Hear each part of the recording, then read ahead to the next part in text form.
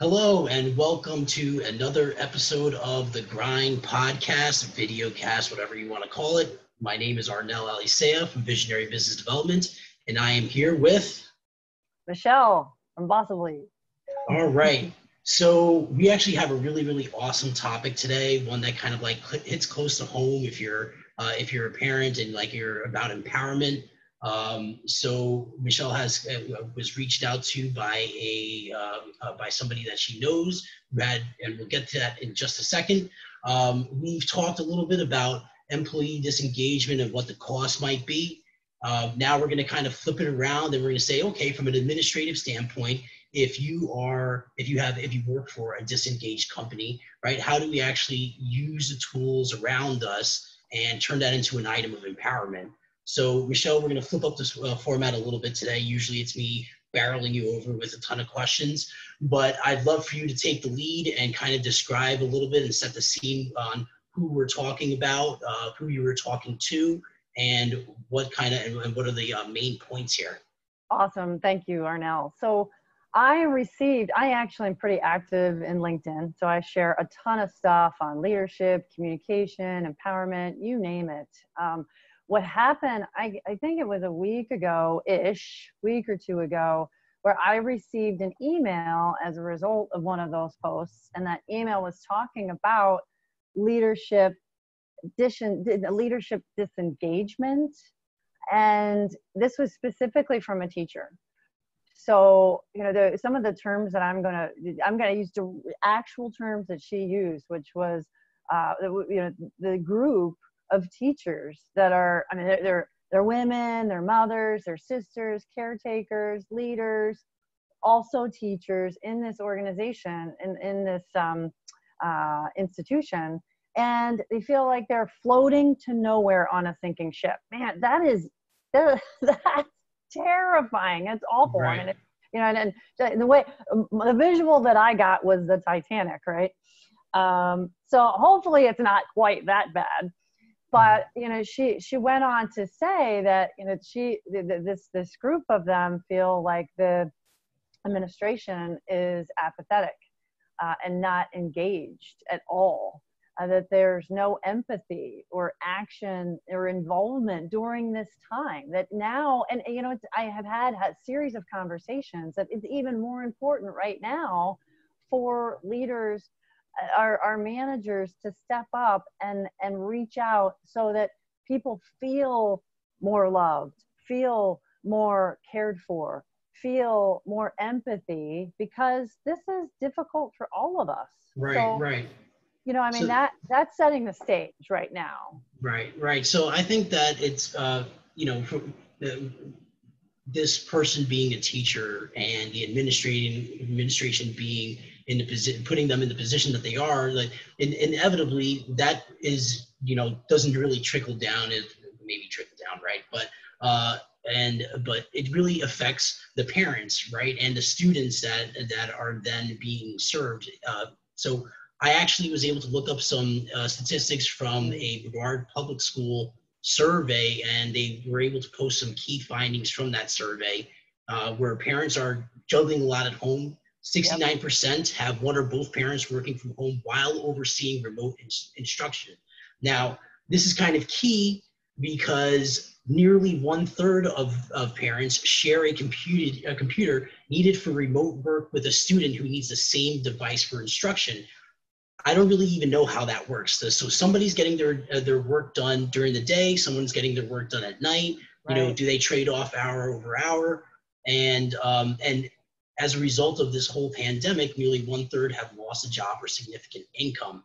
Right. So things are tough already on the parenting side, right? And so to have an administration that seems to be very apathetic or disengaged to that scenario and is kind of like trying to stumble over the status quo for whatever their reasons are, you know, inevitably it affects the the the the, the leadership in the classroom, which is the teachers. Yeah. So well, that, and imagine. So I'm sorry to cut you off, but I didn't want to forget this. I imagine that those teachers are dealing with the same scenario, right? So not mm-hmm. only are they trying to teach their students in a new way, right? But they're also most likely working with their significant other. They are teaching their own kids. right. right. So so they have probably double the load and then they have an administration or institution that's like, yeah, whatever, I don't care. It doesn't you just just do what you can do or right. they're just checking the box. Yeah, it's an interesting thought to think about, like the the the potential from the administrative point of view, like you know, uh, uh, operational paralysis is what it's known. You know, uh, is is the term that's actually used where uh, where things are happening at such a rapid rate that you just can't adapt, and you know, you have three different three different defense mechanisms: flight, fight or freeze, right? Mm, so right. the people that fight will have the organizations that get over it. You know, you freeze, you're just kind of you almost seem like apathetic to the entire thing. Uh, and you know, if you if you run, well, I mean, obviously the whole thing burns down to the ground. But but let's enough with the bad news. Michelle, give me the good news. How do I turn how do I turn the tide? so I think you know I'm, I'm actually reading this book, which is pretty interesting. Uh, I don't know. So some folks may not care for it, but it's what men don't tell women about business. And there's there's some stuff I like and some stuff I don't like, but this is this is directly tied to the question that this particular gal, uh, you know, this group of women that are mothers, sisters, caretakers, teachers, etc., and and their potential strategy to help them feel empowered. So he, this author, which is uh, Christopher Flett, uh, if I'm saying that right, F L E T T, had a bunch of items, but these are the three that I pulled out that I thought was really good, that, that I thought were the most impactful here. So number one, if I don't like the rules, change them. So you know, if you if you're seeing stuff that they're doing that they shouldn't be doing, then you know, in my mind, it's better to ask for forgiveness than permission to get what you need and just just make it happen. Yeah, so that's, that's part of what yeah. leadership is. So that's that's yeah, the first one. Yeah, that yeah, that could be a little bit difficult from when you deal with like such a such a you know like a, a governmental system, right? So what else is what else is uh, in that book that they could use? So the second one would be ask for what you want. So what is happening? You know, if you're looking for empathy, if you're looking for action, if you're looking for involvement, what does that mean? How how do you get that? Can you make some recommendations? Can you go as a group and have, a, or even have a point person to say, look, we are looking for ABC, XYZ. This is how we could use some support. This is what we would like you to do. Sometimes eh, managers and leaders are just clueless. They shouldn't be. Yeah. And sometimes yeah. they're not even asking the right questions, but there's nothing wrong with us asking for what we want and need. So that would be the second one.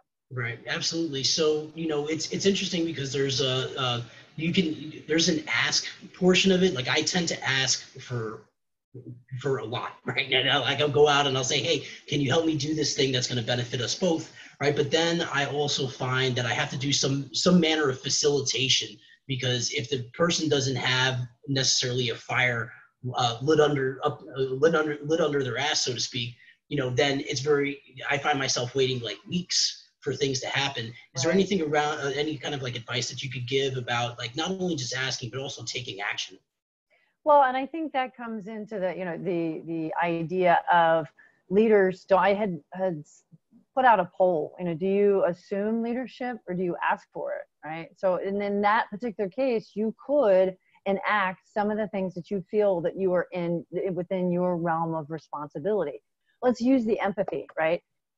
Why so there's nothing that would prevent this group of teachers from creating their own support group uh, uh their own support support group for empathy they, they they just get together once a week or every two weeks whatever their schedule allows to have a conversation of what's getting in their way and how they can help help one another yeah. that wouldn't require it, they wouldn't require asking for assistance. They could just take action and support one another in that way. Awesome. That's awesome. So we have to work towards wrapping up. We've got about 25 seconds on the clock here. Give me some last thoughts and then let's do a sign off. Yeah, the one, the last one, the third item would be be prepared to challenge everything I think is unjust to me. So, you know, it, it we don't have to just maintain status quo if we don't think that it's the right thing to do. So challenge it, you know, and mm-hmm. and there's nothing wrong with doing that. All right. Okay. So This is Arnel from Visionary Business Development. I'm here with Michelle from Bossibly, and that is the Grind Podcast. We are out of time. Thank you. All right, later, Arnel. bye. Bye.